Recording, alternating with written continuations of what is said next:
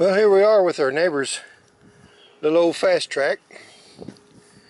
It's uh, pretty dirty, needs a lot of work. We're going to see if we can get where Al's widow can uh, keep the yard up with it. And uh, I imagine we'll be the one doing the mowing, which is fine. But it's not pulling from one tank, so we're going to have to do a little discovery on it. And I thought I'd go ahead and spray her down here with some cleaner and uh, give a good bath. And um, this thing, I don't believe is the mower that he sent to the shop because when it went to the shop it had a Honda motor on it. Now it's got an old used Kohler Courage and it had a, um, I believe it was a 19 horse Honda on it when it left here. It also had a rear discharge which now it's got a cobbled up as you can see it's got a cobbled up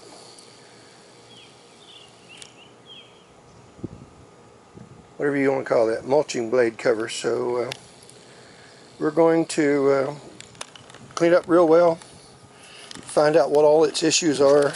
And I mowed with it the other day. It did a terrible job like to beat me to death. So we're going to see how much air the tires have in it.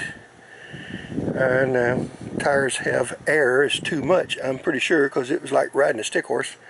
So we're get it cleaned up find out what all we got to do to it get her done get her home and uh, we'll uh, we'll try to give y'all some pictures here before and after and uh, and then as we get her going we'll let you know what we did. We'll try to film a little bit of it. So stay tuned. Well she's looking a lot better there boys and girls. And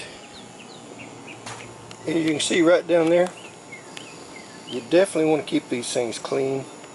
It got a lot of washing done here spent about an hour and a half on the little rascal. And uh, looks a lot better. We're going to see if we can find where the tank seems to be leaking.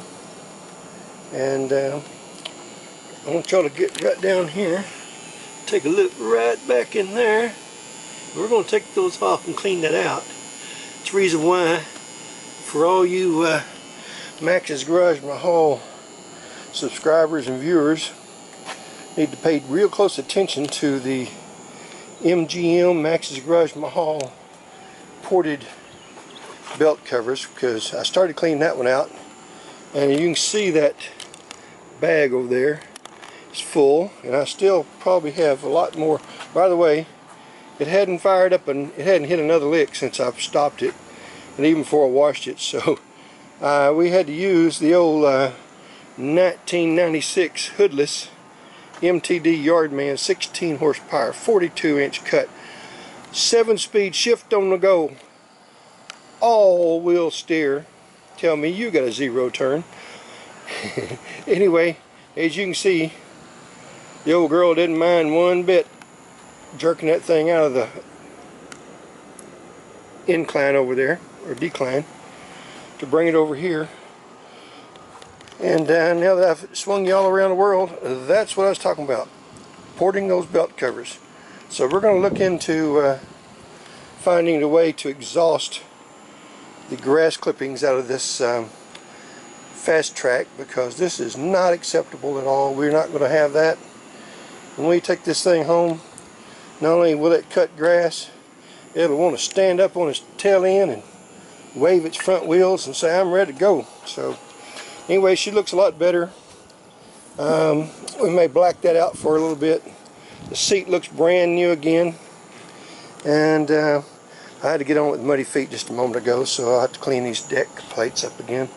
But she's looking a lot better already. And uh, we'll have this thing looking like brand new. Well, it may not like brand new, but we'll have it looking really nicely, really nice, and um, have it running as well as that little Kohler motor right there will run. And it's got a carburetor problem, so we're going to clean the carburetor on it, get that ready to go. Main thing that we're really concerned with also is the blades need sharpening and the sticks are just have a terrible lot of slack in them and uh, you can see there's a major problem right down here with the bushings I'm assuming it's going to be the problem. See if y'all can see that as I do this. if you can see down in there or not. Get the camera in my own way here. Uh, let's see, back up. Now let me try that again. See all that movement shouldn't be there? So let's look at the other side. This stick is really lazy on this side. And once again, tons of slack down in there. Let me see if I can get on my own, out of my own light here.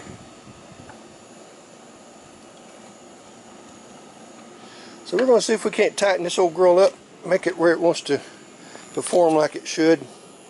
And I don't know if we can make it perform like a brand new one. But we're certainly going to get it as close as possible in that way. It can go over and mow wide open throttle, wide open land speed and see what happens and get her mowing real nice and smooth. So stay tuned. We'll come back with some other uh, information.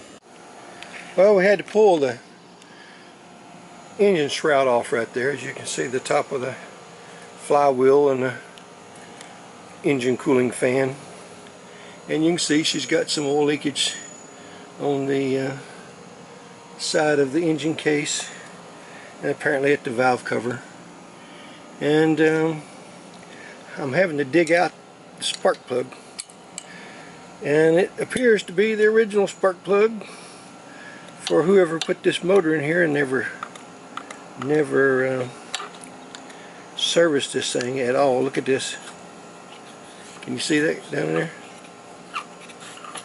This, boys and girls, will make your motor run hot and eventually make it fail because it has started galding the cylinders and the rings expanding, getting so hot that the rings expand and in the gap disappears and it's called end butting on the rings.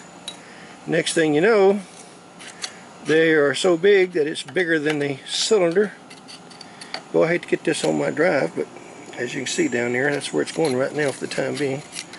And we'll get it all cleaned up here in a little bit.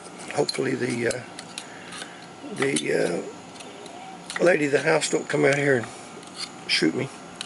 And that very well could happen. So anyway, we're going to get this done, get it cleaned up, get the spark plug out of it, see why it won't fire. Got a feeling we're going to know already. But and now that the drive has started drying, you can see that the little 16 horse Kohler over there on the old antique MTD Yardman with a slipping belt still got some horsepower to the ground there, guys. That's called torque. Anyway, we'll be back. We've got to get this off. By the way, I pulled this out. I wished I'd showed you this. I pulled the filter out of it, which is the original filter, however old that is. I've absolutely never seen one that stopped up in my life. Um, let's see, let's walk around here to the building, inside the building, the garage, my hall, and just see if we can see if it still shows on the side of the building here. Oh yeah, there you go. Get a look at that, boys and girls. That right there. I think I beat on that about 35 times. And it was still coming out of there in large cakes. So temporarily, until we get the old girl started back up running, then uh, we're going to leave that air filter on it and then get it running good nice and smooth after we've blown that out then we'll replace that filter I'm going to have to figure out some way to take this large bow out of this engine guard because you can't get that filter off and on and you can't get in there to service most of the parts on the side of the engine so that's either going to have to come off and I'm going to have to jump up and down on it and do something anyway we'll get back to you as soon as we have some more information Boy, something sure is amiss in here. Look here. There's a lot more room in this place for some reason. Looks like, uh, hey honey, I shrunk the Raptor. Okay, so we have a little Fastrak inside. We've got a fan going over here. Got a great big fan going over there. It's uh, 90 something degrees here. And it's probably, I don't even want to put a thermometer inside here because I don't need to know how hot it is. But we're going to show you a couple things and let me zero in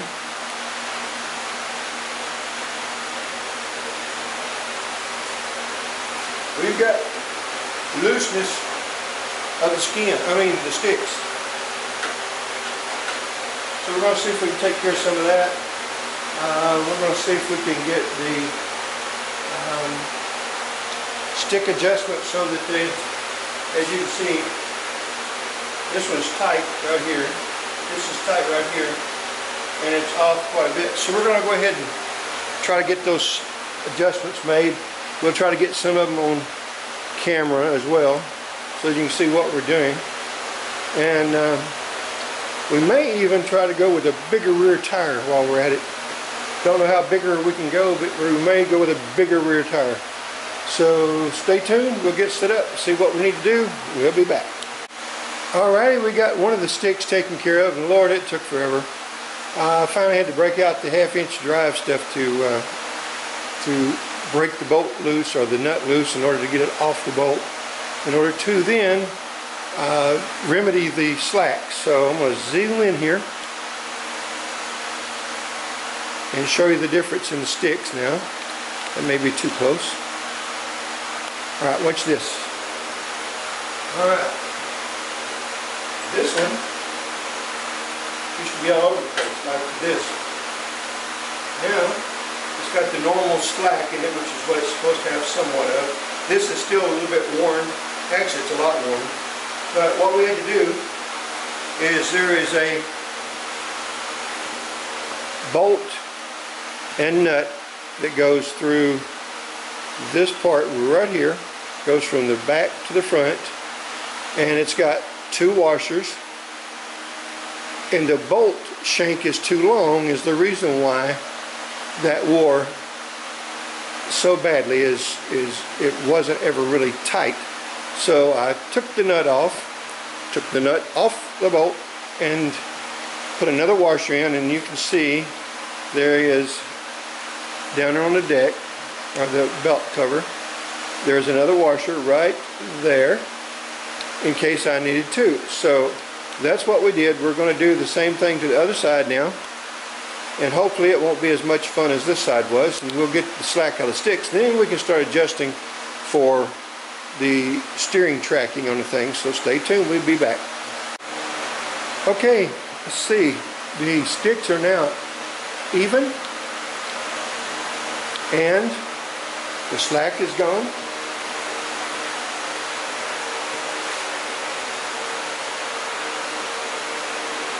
which is really nice. And I want to show you that down here as we zoom in, in order to washer those bolts up right there, you have to move the stick forward, get the bolt aimed down like this, and then you can get in here and put a, put a standard wrench in the back, you get a socket deep well socket on the front side and then you can loosen that up in order to be able to uh, take the nut off and the original washer put a thicker washer on to the inside the old washer on the outside put the nut back on tighten it up until it's really tight back it off until the sticks move smoothly but have plenty of drag on them because they are going to get looser again. And you can put a drop of oil on either side once in a while. That'll make that thing a lot better. Now we're going to get underneath it. We have found that the bolt right there that goes all the way across it keeps the deck from moving back and forth. It's gone. Not there. Um, so we're going to go in and we're going to replace that bolt, tighten it up, and make sure that that deck doesn't move back and forth. Uh, at this time, that's where we're going to be. So we're going to get all this put together and we'll be back shortly. Okay, we are now underneath a little Fastrak. And this is the subject or the topic of a lot of people's discussion is the buildup underneath the deck. And if you could see this, let's see. Let's see if we can get you over here. Uh, right over there that's probably sticking out an inch and a half from the deck and under here it's just terrible so we're going to clean this out we're going to sharpen the blades I'd replace the blades, but they're not mine. The mower's not mine. And look at this right here. Y'all see that hanging down right here?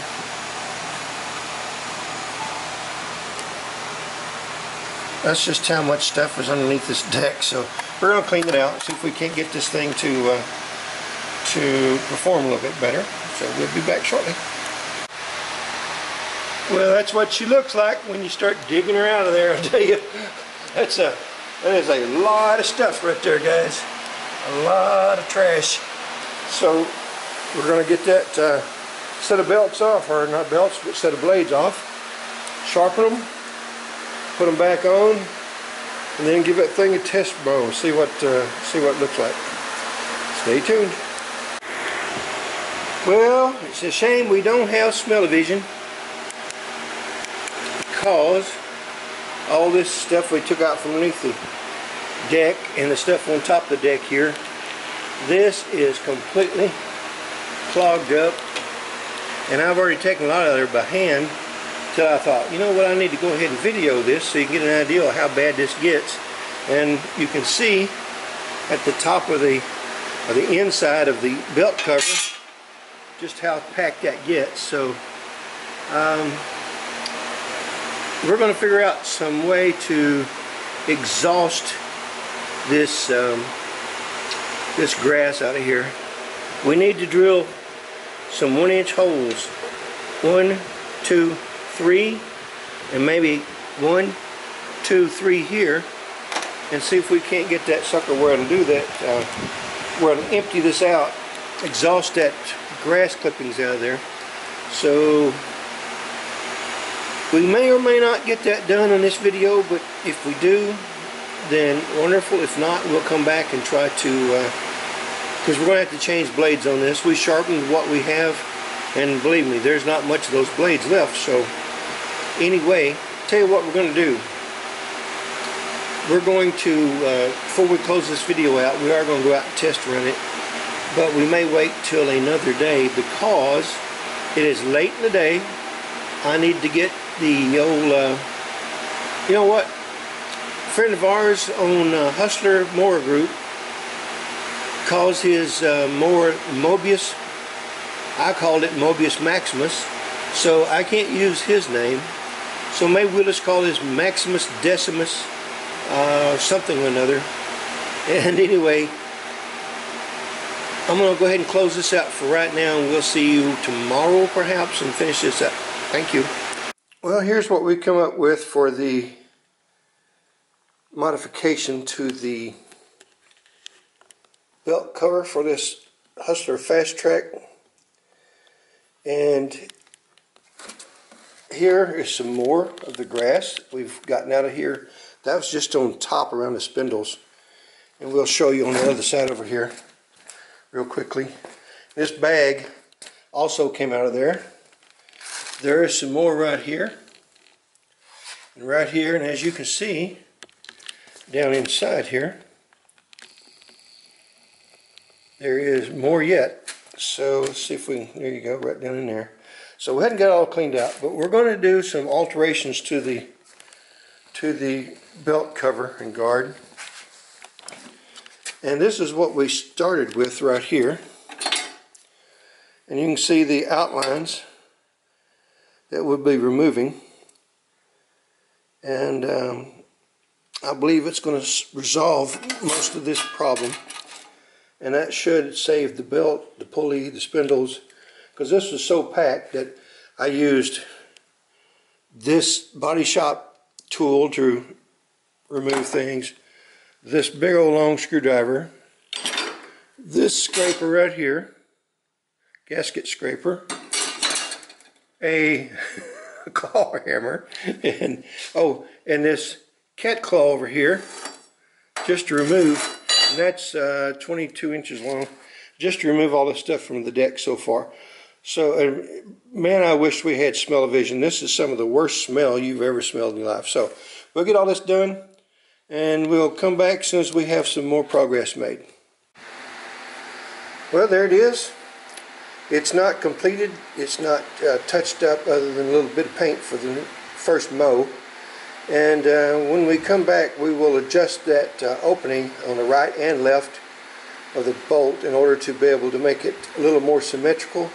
And then we're going to test it. If we do not need this side, we may not cut that out. But I'm really strongly opinionated about that particular opening because that's where the first grass that comes around the belt and the pulley wants to exhaust, be thrown out, centrifugal force. So we'll most likely cut that. We can't take it all because this is also the deck lift on this machine, so we don't want to uh, destroy that integrity. All we're going to do here is just relieve the fence so that it can not capture as much of that grass in there. Again, you'll recognize this from coming out from underneath the the top of the belt covers there and around the pulleys. And it was really seriously bad. And you can see how much the metal, I picked up several loads of it with a magnet. I'm about to pick it up again and do some sweeping and then another one before we roll the tires. And um, we'll get it outside and wash off the top of the deck really nice and clean. And uh, then we'll go mow. And as you can see, let's walk around here to the other side. The other side will not be disturbed. Um, I will go ahead and put the cover back on it and then we'll take it back off and see how bad that clogs up compared to the other side. So stay tuned. Alright, it's about 20, 25 mile an hour wind out here today. But I thought I'd show you the uh, porting there on the belt cover. And as you can see, it works. It's uh, a lot of crap on top of that thing, but inside that belt cover. So let's go over the other side, left the other side off. And without it, the cover on, it's actually fuller in there than it is with that belt cover on and ported. It's bright out here, I really can't see if you can see what I'm looking at. Anyway, uh, it is a lot cleaner inside that belt cover. So porting does help, and uh, I'm going to call this video complete. And that's the old Fastrak right there. It's got a, let me see, I just mowed with it. I'm to show you across the street. Sticks are now lined up. All the slack's going of the sticks. And over there, across the street, you can see the freshly mowed lawn. And uh, there you go, right over there. So we're going to call this closed on this video today. We're about to blow this thing off, get it ready to go back into the Garaj Mahal. We got a few other things we need to do and want to do. I'm going to go ahead and pull the carburetor off, which we haven't had a chance to do yet, and um, a couple other things. So we want to get um, want to get this valve cover off, get the leak stopped on it, and other than that, no big deal. But going to call it quits, and uh, we appreciate you guys coming by. Hope you'll subscribe share, hit that like button, thumbs up, and uh, appreciate you coming by Max's Garaj Mahal. Y'all come back and see me now, yeah?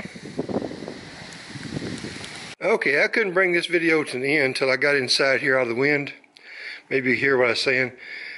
You can see the uh, little baby Fastrak there still needing some cleaning on it.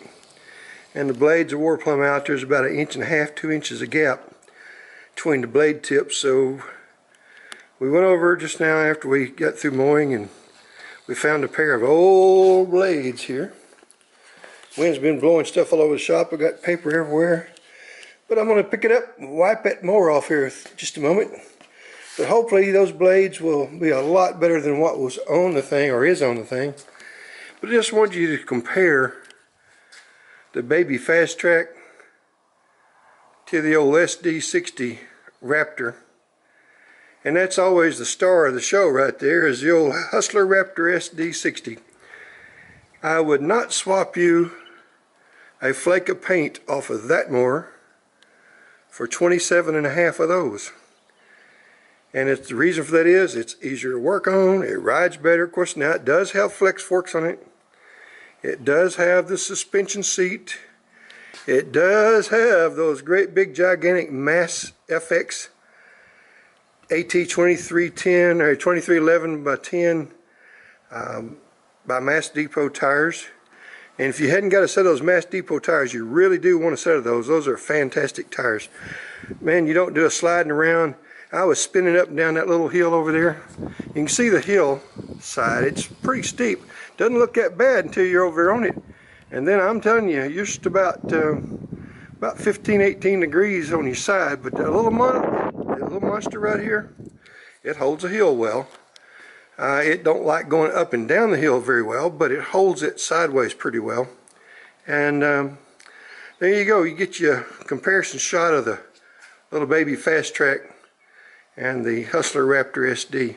The only thing that the Fastrak has going for it, real quickly, I'm not going to get out here in the wind, uh, is, and I mean the only thing it has going for it, because it's a pain in the butt to work on, and that's the deck lift stop on it for setting the grass cutting height. I like that. Other than that, again, would not swap you a flake of paint off this one for the Fastrak. So all you guys loves your Fastrak. I apologize to you for being hard on you, but I got to be honest. Dollar for dollar, that's worth $10 for every $2 you paid for that one. So y'all get over it. You're not going to like me after this, but that's okay because I'm going to just tell you like it is. So thank you for coming by. Again, please subscribe, hit that like button, hit that notification bell so I can insult you some more. No, just kidding. But please come back by Max's Garaj Mahal and take a look at the next video. We appreciate you very much. And y'all come back see me now, yeah?